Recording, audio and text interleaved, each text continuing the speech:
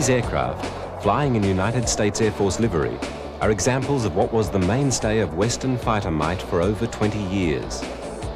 Used by the majority of the West's air forces, it was originally conceived and very successfully employed as a Navy fleet defence fighter. During its lengthy tenure, it's been referred to under several pseudonyms, including the St. Louis Slugger and the Double Ugly, but it's better known by its proper name as the Phantom II.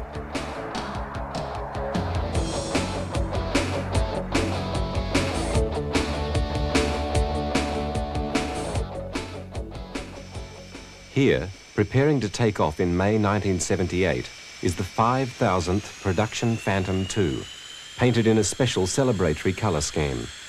Soon the festive paint job would disappear beneath the camouflage of the Turkish Air Force. But, flying low over St. Louis, the brightly coloured plane cannot help but have attracted attention. At the controls is Bob Little, who took the first of the type into the air for its first flight 20 years before.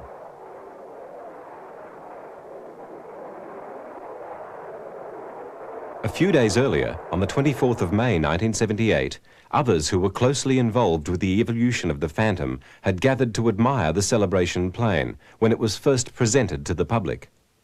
Product of McDonnell's famous design team, the F-4 Phantom represents the Western Alliance's greatest post-war fighter success story, and the plane must have been close to a few hearts in the room. However, doubtless, the Phantom II meant even more to this man, for this is James McDonnell, Mr. Mack, under whose leadership the Phantom II's namesake first started the company on the road to success over 40 years before. In 1943, McDonnell Aviation was merely a subcontractor, supplying parts and assembling aircraft for other manufacturers, when the Navy asked it to design its first jet-powered carrier-based fighter. The project did not have a high priority within the Defence Department at the time, but McDonnell seized the opportunity with alacrity and produced a plane whose shape was, for the time, revolutionary and which was to affect aircraft production for years to come. It bore features that have become almost signatures of later McDonnell aircraft, not least of which are the dual engines.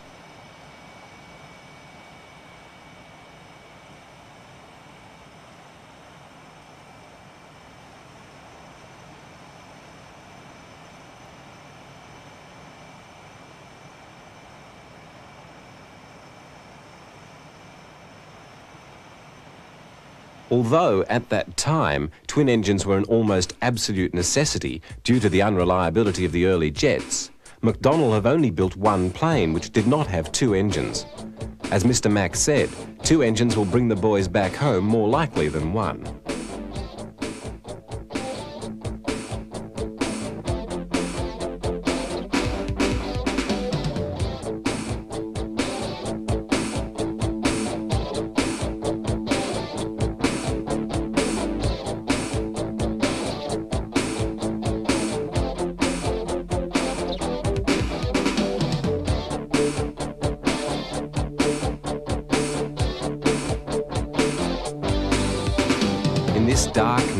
Colour scheme, the sleek lines allow the name Phantom easily.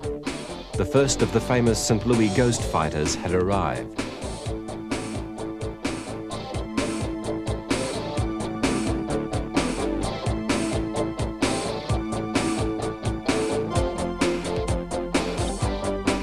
The new technology would be a challenge for engineers and pilots alike.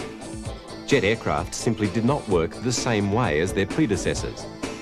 We can make a comparison here with the bulk of the F-8 Corsair, possibly the most powerful piston-engined aircraft ever built, almost dwarfing the slim, sophisticated and considerably faster Phantom.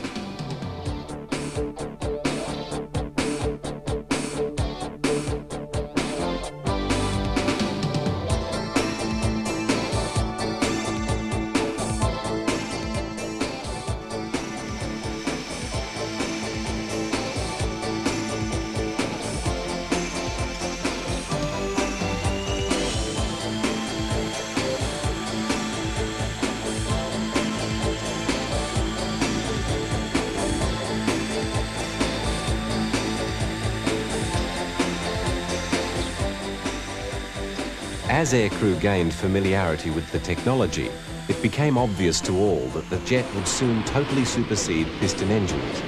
But the first Phantoms, like other American jet aircraft, were not to see service in World War II, as they arrived too late. However, 60 examples of the Phantom were built, and it had the distinction of being the first American jet aircraft to be successfully deployed on carriers. Prototype, which was the only plane completed before VJ Day, also had the distinction of being the Navy's fastest aircraft of World War II. The basic design of the Phantom was so sound that it merely needed refinement and considerably more powerful engines to take the form of McDonnell's F-2, the Banshee. The Banshee was not only successful as an airplane, but also commercially. Nearly 900 were produced in a few short years, and many saw active service in Korea. With such a large order, McDonnell's plant expanded as it cemented itself as a leader in the new era of jet aviation. But, as is always the case in such matters, to maintain that reputation and the company's competitive advantage, a more advanced design had to be developed.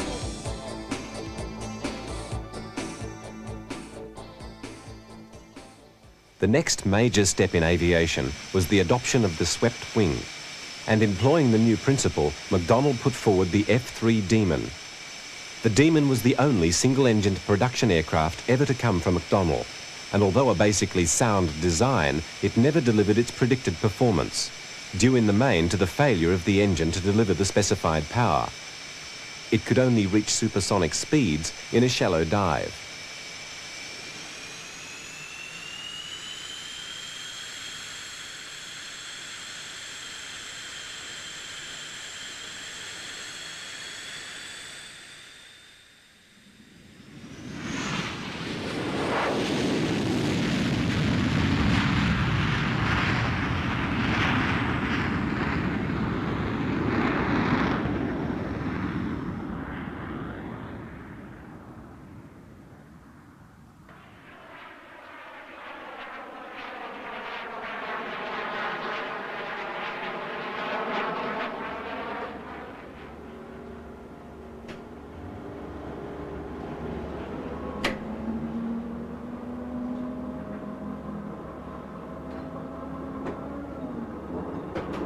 By the early 50s, Chance Vought, one of McDonnell's competitors, was offering a truly supersonic Navy fighter in the form of the Crusader.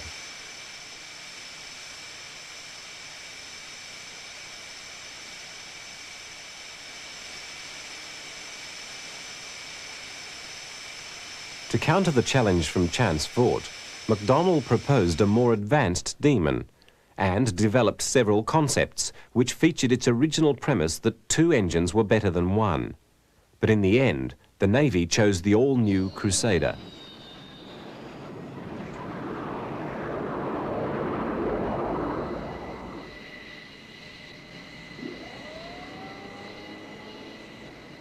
McDonnell had taken some of the features of the Demon and put it through a process of advanced design refinement.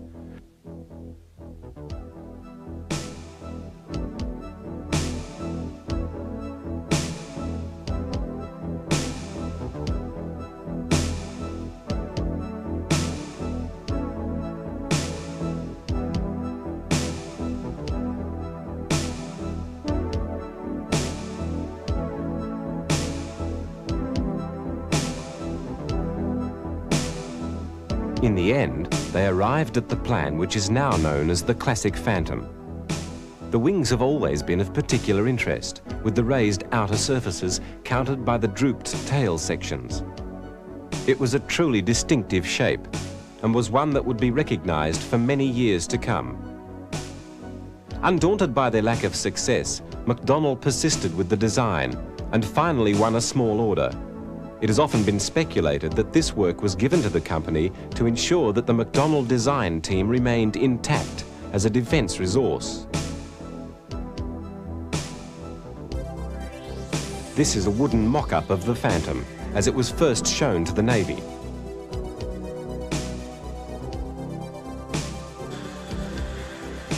The project approved, the plane was designated the F4H-1 and the first rolled out of the St. Louis factory on the 8th of May 1958. to be given the name of its predecessor, McDonnell's first jet, the Phantom. Bob Little took the new plane up for its first flight a fortnight later, on the 27th. The flight was not without incident, as with a failure in the main hydraulics, it was abandoned without any attempt to proceed to supersonic speeds as originally hoped. The next flight was beset by the same fault, but on the third attempt, things went smoothly, and the great potential of the magnificent aircraft became apparent. Little made a comment after his first successful flights that was to become famous. This time we've got a winner.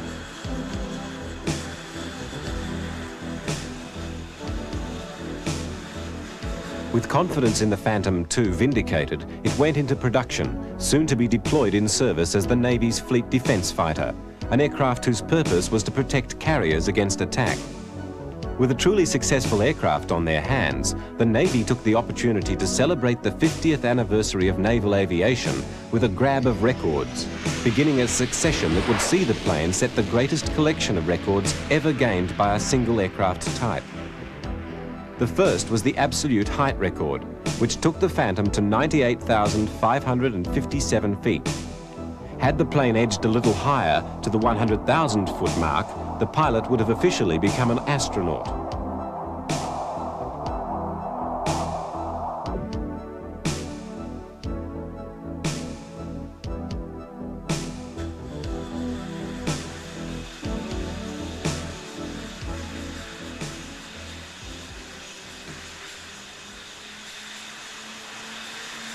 Further records followed in a quick sequence of projects, including Skyburner, which saw the king of records, the straight line speed dash, raised to 2.6 times the speed of sound.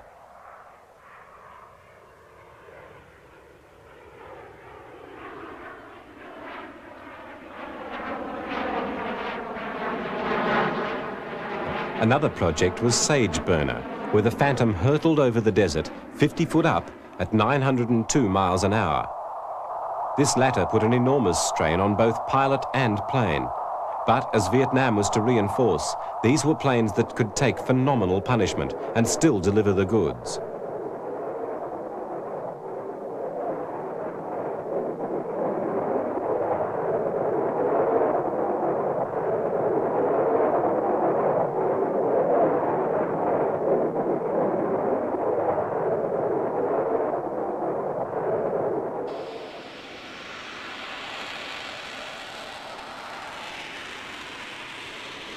By 1960, the F-4s were entering service with the Navy, and the vital shakedown period had begun as the Navy personnel became accustomed to their new plane, testing it in its job with the regular, dangerous, difficult and stressful processes of carrier takeoffs and landings.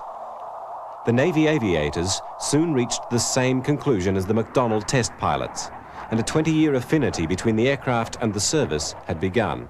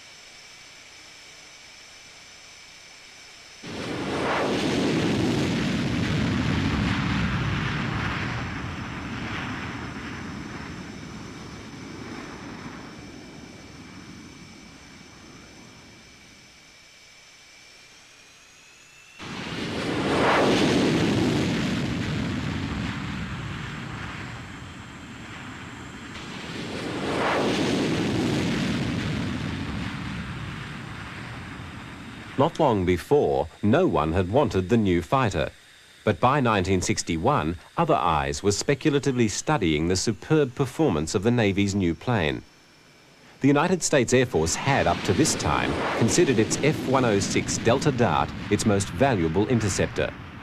But although the Air Force is traditionally loath to buy Navy aircraft, the Phantom's performance could not be overlooked particularly as its achievements were radically enhanced by that most useful of combat assets, the second crew member. An opportunity to compare the two aircraft was quickly arranged, and the results were conclusive, the Air Force simply had to have the McDonnell plane and ordered it as the standard weapon system for TAC units.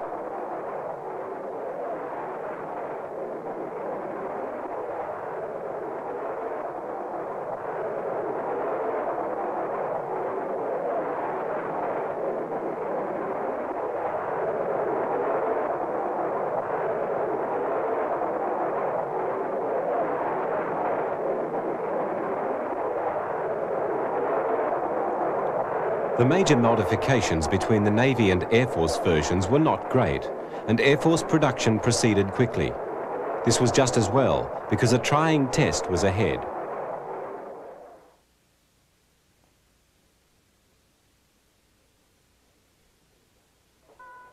Navy F-4 Phantoms were the first to see service in Vietnam, where they gave escort cover to A-8 and A-7 attack aircraft as well as filling their role as fleet defence fighters, protecting the carrier task forces. Controlled from the carriers or from airborne radar, the F-4s protected the Navy's ships and aircraft alike.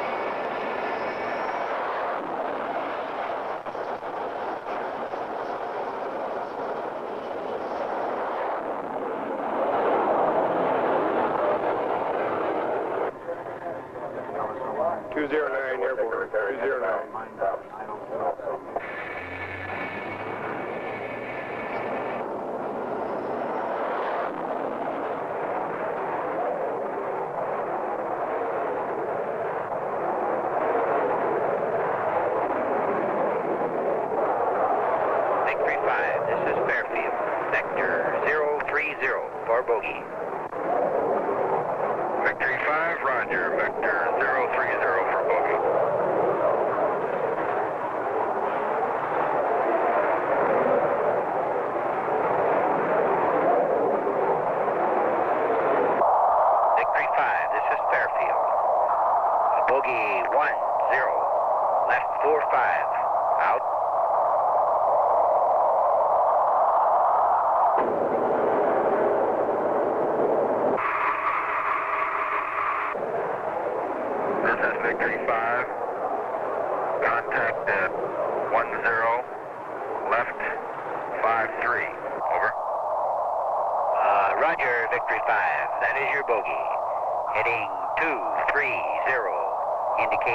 1.16 out.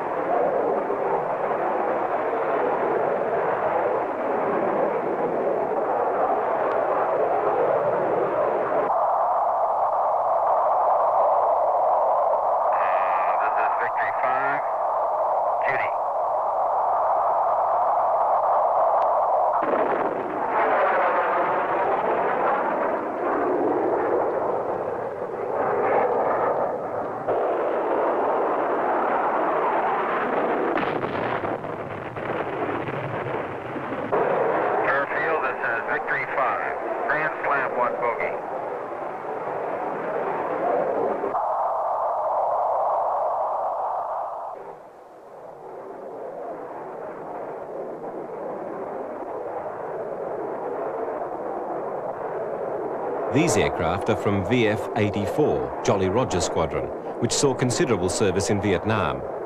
But the all-time naval ace in the Southeast Asian conflict was from VF-96. He was Randy Cunningham, seen here on the right with his partner Willie Driscoll. Cunningham shot down five enemy planes. On one particular day, he shot down three MiGs before his Phantom was hit by a surface-to-air missile and grievously damaged. Still, the plane limped out over the coast and the two men spent some time in the water before being rescued. Cunningham took his job deadly seriously and would often spend time reading on the tactics of pilots in previous conflicts, from which he drew lessons which he could apply to the Vietnamese situations. Generally, the North Vietnamese used MiGs, which were invariably lighter than the F-4s. But although this gave them a higher maneuverability, they were far less sophisticated planes.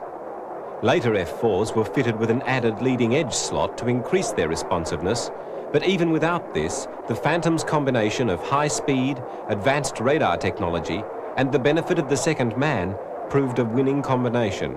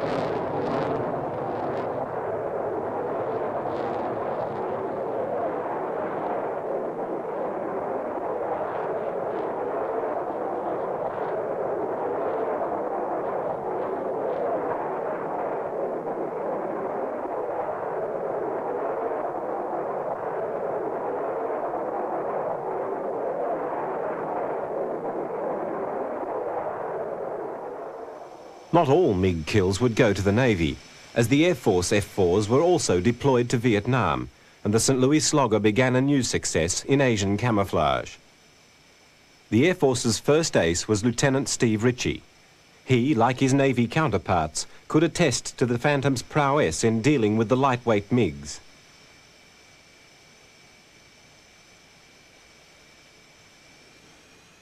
Although Robin Olds never got his fifth MiG, he was one of the most colourful and respected pilots. Seen here landing after his third MiG kill, Olds had an extremely successful career in World War II, with no less than 24 downed German aircraft to his credit. The experience that he brought to Vietnam, teamed with the F-4, must have been a mighty asset to the Air Force. Most of the MiG kills were with missiles, either the short-range Sidewinders or the larger medium-range Sparrow shown here. The missile would sit, semi-recessed, under the F-4, being released just before firing. Missilery of this sophistication tended to keep enemy aircraft well away. The early Phantoms, designed for a role that kept intruders at bay, were not equipped with an internal gun. Something of a makeshift arrangement, seen here being laboriously loaded, was the 26mm Vulcan rotary cannon mounted in a gun pod it gave a nominal cannon capacity with the added advantage of being easily demounted and replaced. These gun pods were usually carried under the main fuselage. However, it was possible to fit up to three using wing points, giving the Phantom an astounding firepower. The guns were capable of firing 6,000 rounds in a minute, but in such a configuration they lacked accuracy and were not suitable for dogfighting with one of the nimble MiGs. The addition of cannon to the F-4 was something the pilots had been pressing for, but it was not until the E model that an E-36 Gatling gun was finally fitted internally some years later.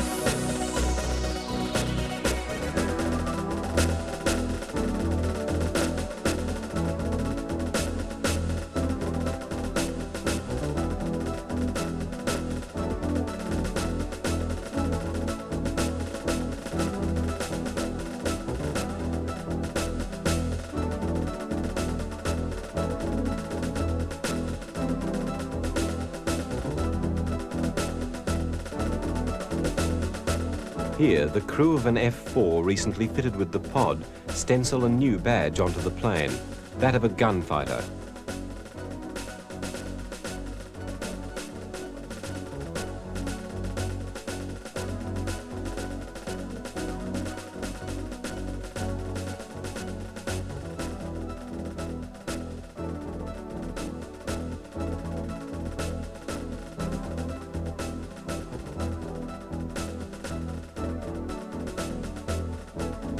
Despite the Air Force's disappointed hopes that the external guns would be the answer to the MiGs, they did find them highly successful for strafing, where their lack of accuracy was less critical.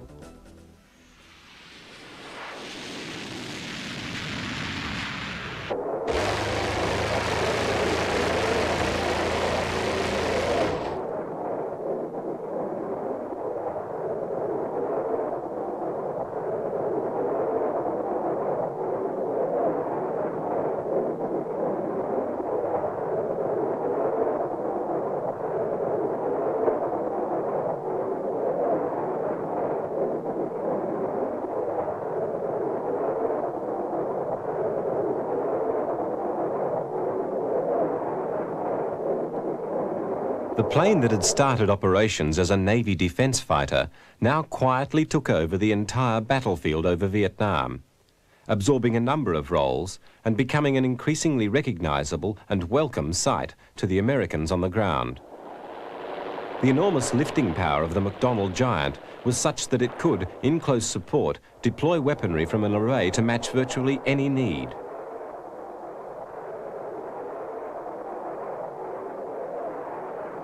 Here, early C models, the initial Air Force configuration, prepare for a ground attack mission with a payload of rockets and bombs heavier than that carried by the B-17 heavy bomber of World War II.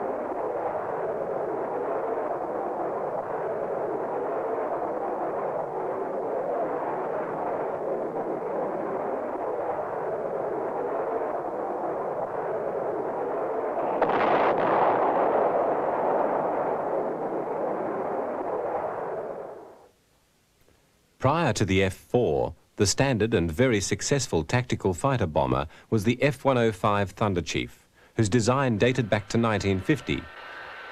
It coupled very high speed with an internal bomb bay capable of delivering nuclear weapons. In Vietnam, the bomb bays contained fuel, and external racks festooned with bombs had been their usual attire. They had suffered a process of attrition in the intense air defences of Vietnam, and their logical and available replacement was the Phantom. From bases in Vietnam and Thailand, the bomb-laden Phantoms would fly missions all over Vietnam, regularly to Hanoi. Overhead would prowl their MiG-cap, fighter escort protection, planes of exactly the same mark, more Phantoms.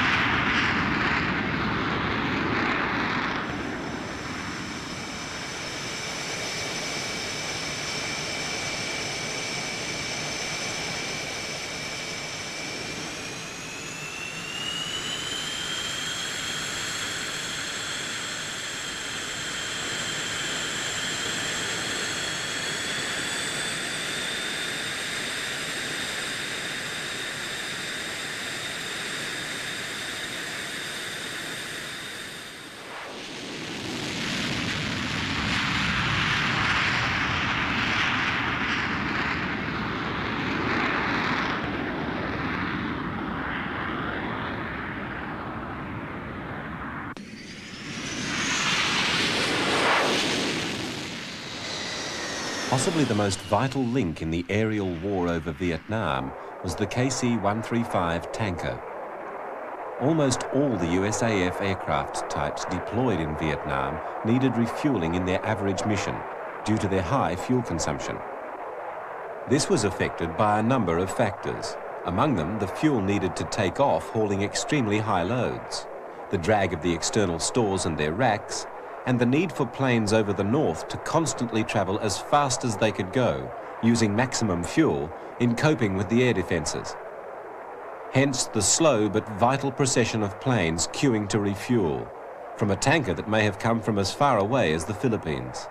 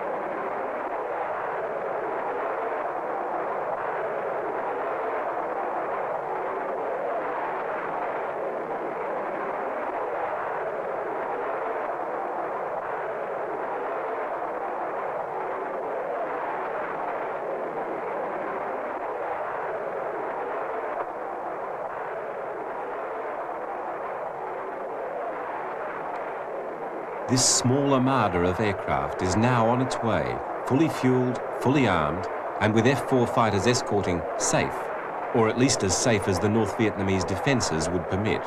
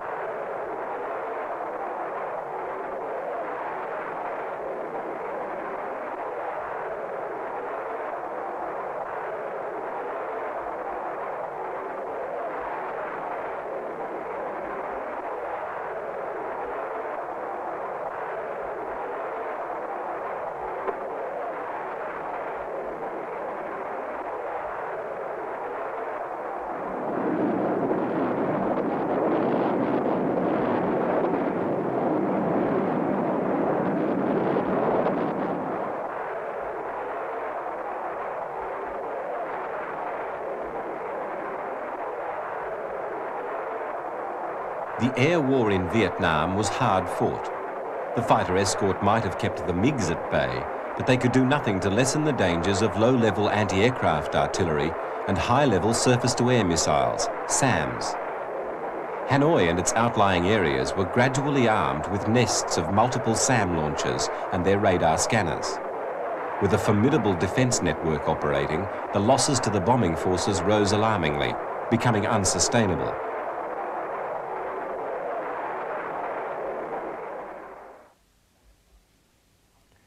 SAMs were cheap, highly efficient and mobile and had to be countered. Soon the Air Force was deploying new weapons to suppress the threat. The first electronics countermeasures aircraft were converted B-66 bombers, fitted with sophisticated high-powered jamming devices to distort the SAM radar reception and suppress the use of the deadly rockets until the bombers had passed. Working in their darkened hull, these technicians must have saved thousands of lives.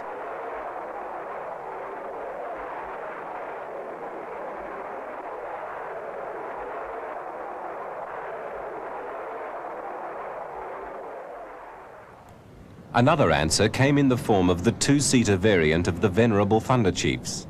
Re-equipped with the second crewman operating a new array of electronics, they turned into hunter-killers, using their equipment to locate SAMs through their radar signals and attack them with the deadly Shrike missiles, which homed in on the SAM sites. The SAMs began to be surgically removed, one at a time. These special units were referred to as wild weasels and wrote another chapter into the story of the F-105. Their natural replacement, two-seated, fast and strong, as it had been as they dwindled under the weight of the bombing campaign, was the F-4. If you look on the extreme right of this Phantom, you may note the telltale Shrike missile under the wing, a wild weasel. There were still losses, of course, from the SAMs and the MiGs and the artillery, or even as the result of accidents far away from the conflict. Some Phantoms didn't make it back to their bases. And some that did only barely made it.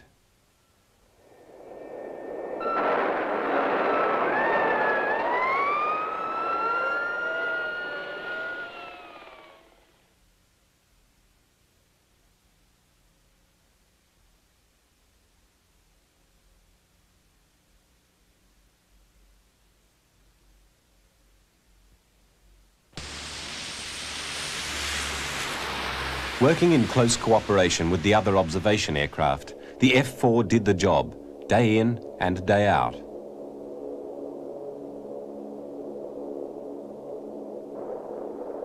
Blind Bat 1, 5-1 is presently in the area. We are base plus 7. Our armament is CBU and napalm with some 20 Mike Mike. Do you have anything for us out there? Uh, Roger, Nimrod. Uh, stand by one. I think we got a suspected truck park and storage area down here we want to have you take a look at. Yeah, we got a couple of lights down here. Rack around the left here, go take a look. Okay, Nimrod, we're going to pull around here and kick out a few flares for you, and then you go down and take a look and see what's happening. Roger. Okay, load master, load up four in the rear, will you? Roger, sir, load four.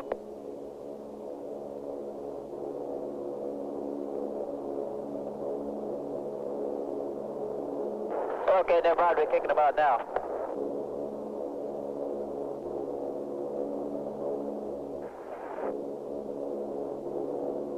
Uh, got your flares in sight now, uh, Blind Bat. I'm going to start down.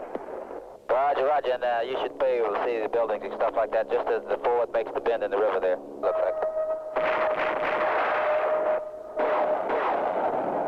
We're picking up some ground fire down there, it looks like. I'm going to have to change my running heading. I'll uh, still uh, turn left here and keep clear of you.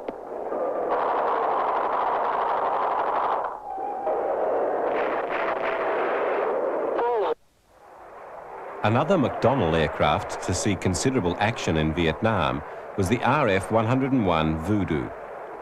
This was a reconnaissance version of a long-range fighter. The RF-101s played a vital role in Vietnam, where it was used not only to photograph potential targets, but, possibly of considerably more importance, to take post-mission photographs. These aircraft, mostly unarmed, would fly in, sometimes shortly after the bombers, to establish the facts. It was said that within 24 hours of a mission, the photographs would be on a desk in the Pentagon. You can see the strong family resemblance between the Voodoo and the Phantom, the same raised rear section and the same commitment to two engines. However, the 101s, like the F-105, were out of the early 50s Century series, and they too were approaching the end of their service life. And there was only one logical replacement around at the time, the F-4 Phantom.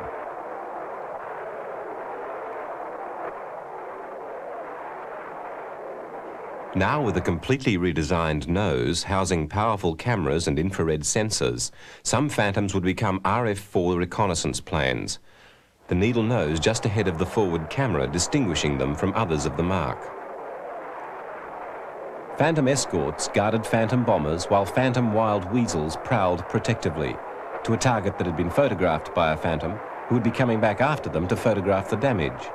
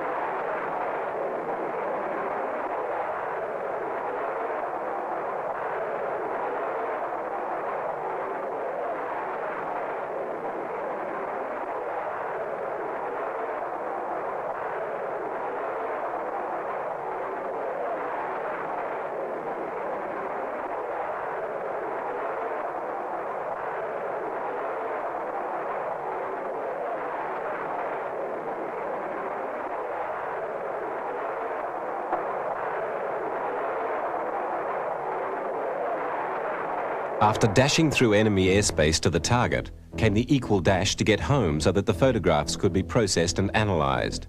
Results from that day's mission confirmed or clarified, and tactical decisions for the next day to be planned. More missions for the fleets of Phantoms.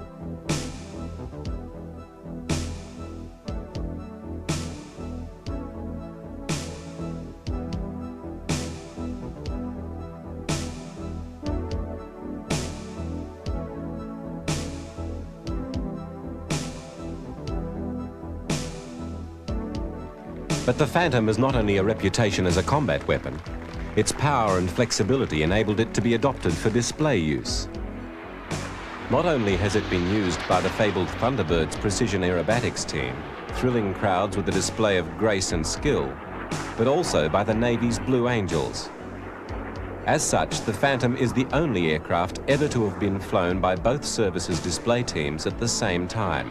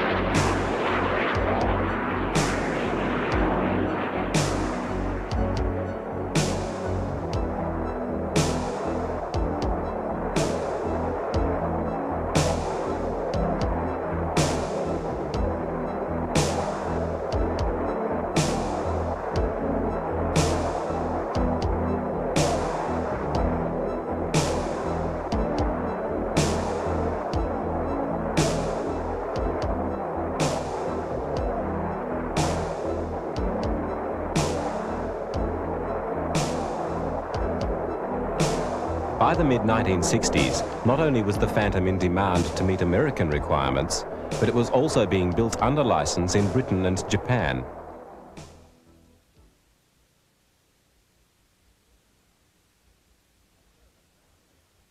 A further nine air forces were supplied from the St. Louis plant, including Israel.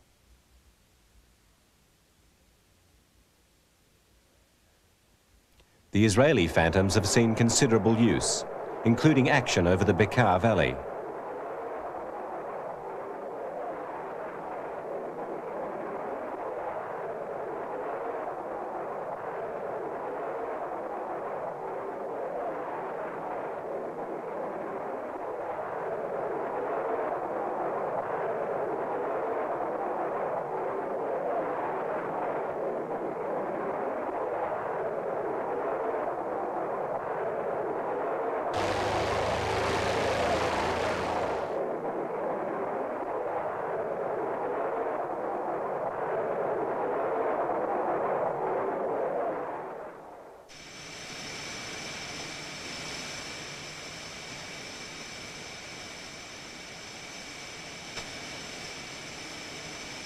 The F-4 also found Middle Eastern service with the Egyptian Air Force, where it replaced many of the Soviet aircraft which had been previously arrayed against it in Vietnam.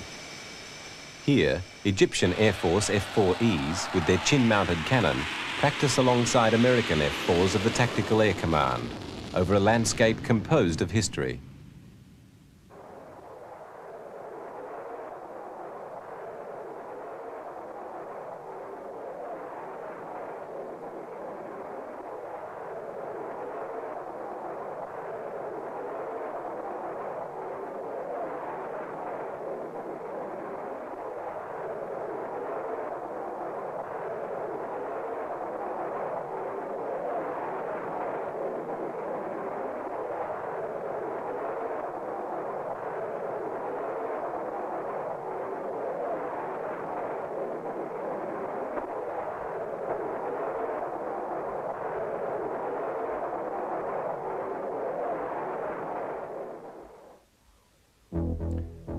Now, as the decade ends, well over 30 years from its maiden flight, crews of the United States Air Force are still being trained on the ways of the Phantom.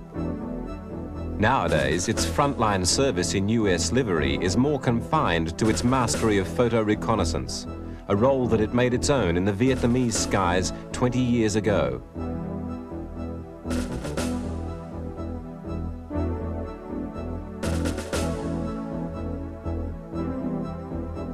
Speaks volumes for the plane that it can still be serviced and maintained to a point where there is no need to consider replacing it in this particular role for another decade to come. To build anything better would be hard and very, very expensive. By the time it is replaced, it will be approaching its 50th anniversary.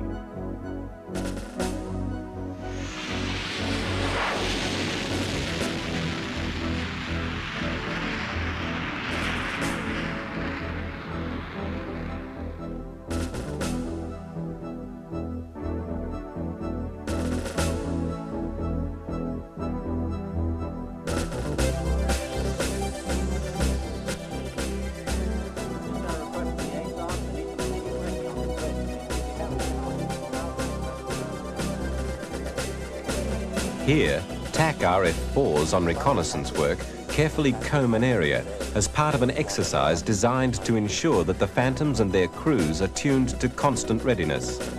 In any foreseeable conflict, reconnaissance will be as important as it was in Vietnam, and the role, for the moment, rests easily with the Phantoms.